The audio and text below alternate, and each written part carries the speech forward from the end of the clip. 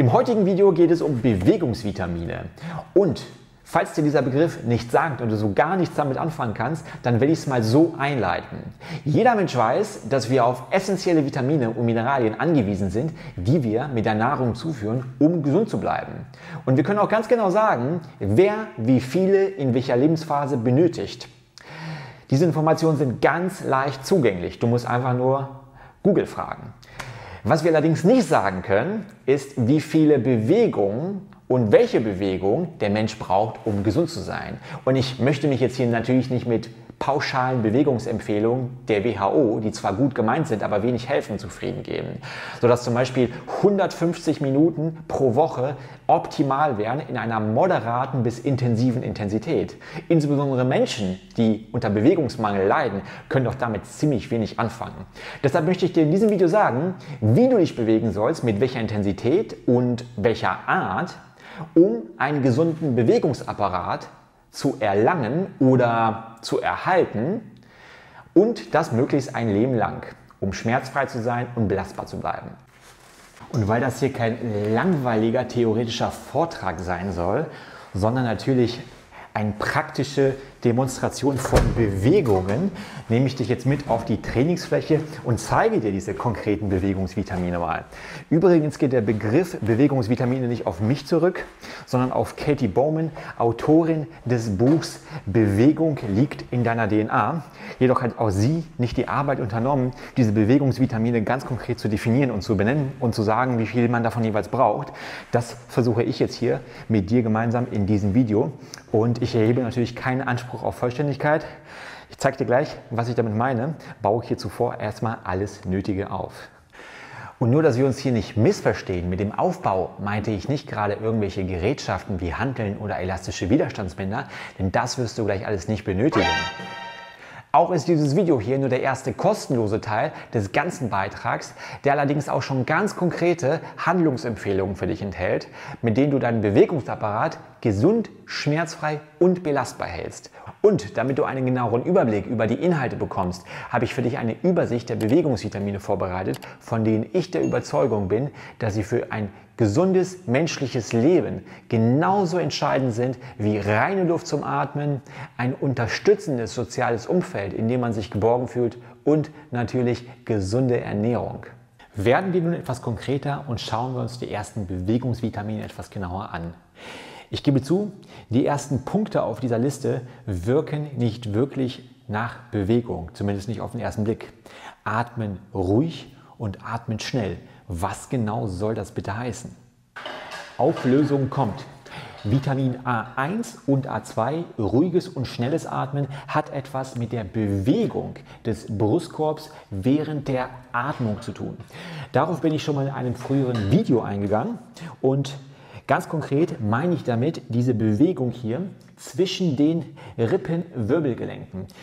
Die Wirbelsäule geht eine gelenkartige Verbindung mit jeder einzelne Rippe ein. Und die Rippen sind Gott sei Dank beweglich, denn der Brustkorb kann sich bei der Atmung ja ausdehnen. Hier haben wir in der Regel eine Verknorpelung mit dem Brustbein und den Rippen, zu sehen hier an der unterschiedlichen Farbe. Und die Rippen fächern sich beim Atmen auf. Das heißt, durch die Kontraktion des Zwerchfells der Atemmuskulatur findet bei einer gesunden Einatmung auch immer eine gewisse Hebung des Brustkorbs auch in Ruhe statt. Das ist ganz wichtig. Und diese Bewegung, diesen Bewegungsmangel besser gesagt, haben vor allem Leute, die zu bewusst aus Entspannungsgründen, weil sie zum Beispiel gehört haben, dass es korrekt ist, rein die Bauchatmung praktizieren. Dadurch leiern nicht zu selten die Bauchmuskeln, die Bauchdecke frontal aus, was dann auch hier Stabilitätsdefizite verursacht. Aber auch der Brustkorb verliert Beweglichkeit. Er wird zu rigide, zu fest. Und das kann, genau das Gegenteil wollen die Leute vermeiden, zu Stress führen und Beklemmungsgefühlen hier in der Brust, wenn dann plötzlich was blockiert ist, weil die Beweglichkeit dieser wichtigen Gelenke fehlt. Die Atmung ist das Essentiellste was uns am Leben hält. Wir kommen lange ohne Trinken aus. Wir kommen noch länger ohne Essen aus. Aber wir kommen nur ganz, ganz wenige Minuten ohne Sauerstoff aus. Und das unterstreicht die besondere Wichtigkeit der Atmungsmechanik für unsere Gesundheit. Und ruhiges Atmen erfordert etwas weniger Anhebung des Brustkorbs und beim schnellen Atmen wird genau das hier stärker bewegt.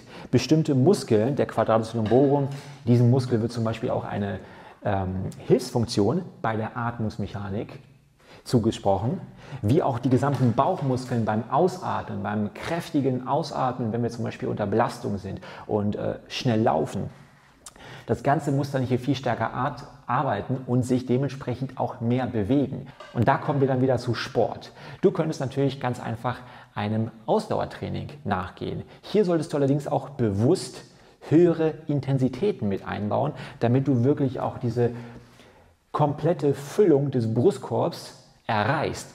Die Füllung des Brustkorbs mit Luft stellt nichts anderes als eine Dehnung für die ganzen beteiligten Strukturen hier im Bereich der, der Rippen und des Brustkorbs dar. Also wirklich eine essentielle Bewegung, die du sonst nicht kriegst, wenn du einfach nur normalen Dehnungen nachgehst. Das ist nicht ein und dasselbe. Und deshalb solltest du wirklich da auch nochmal gezielt neben der ruhigen Atmung, die nicht nur rein bauchlastig sein sollte, was ich jetzt insbesondere erwähne, weil da häufig Fehlverständnisse herrschen, sondern halt auch intensiver mit der entsprechenden dazugehörigen größeren Brustkorbmechanik.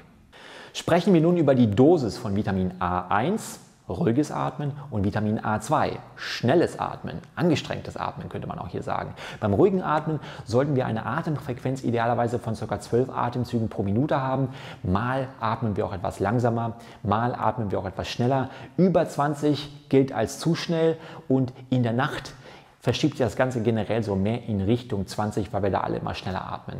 Von der Reihenfolge der Bewegung füllt sich immer zuerst der Bauch mit Luft und danach leicht der Brustkorb. Das heißt, man sieht zuerst den Bauch anheben und dann den Brustkorb. Das ist eine gesunde, normale Atmung. Und wenn das Ganze andersrum stattfindet, haben wir eine sogenannte paradoxe Atmung, bei der sich zuerst der Brustkorb und dann der Bauch hebt. Und wie gesagt, wenn sich nur der Bauch hebt oder nur der Brustkorb hebt, dann haben wir auch keine gesunde, richtige Atmung. Bei der intensiveren Atmung, schnellen Atmung, befinden wir uns ganz klar im Betätigungsfeld irgendwo zwischen zwischen intensiver Arbeit oder Ausdauertraining. Es kann zum Beispiel Krafttraining sein, das kann wie gesagt Laufen oder äh, Schwimmen sein, das kann aber auch äh, flottes Wandern sein oder Tanzen, was auch immer dir Spaß macht. Sei hier kreativ. Wichtig ist allerdings, dass du jetzt nicht dich auf dein Sofa hinsetzt und vor dich hinhechelst. Dann läuft das sicherlich auch in die falsche Richtung. Kommen wir zum nächsten Vitamin. Bodenarbeit. Das war nur der Einführungsteil zum Thema Bewegungsvitamine. Im gesamten Videobeitrag erfährst du, wie du die übrigen 14 Bewegungsvitamine richtig dosierst und entsprechend supplementierst bei einem Mangel. Das gesamte Video hat eine Länge von 40 Minuten und ist das bisher am aufwendigsten produzierte Video von mir. Ich habe noch nie so viel Arbeit in ein einzelnes Video gesteckt, weshalb es auch ein Teil eines neuen Produkts ist und Unten in der Videobeschreibung erfährst du, wie du es dir gesamt anschauen kannst.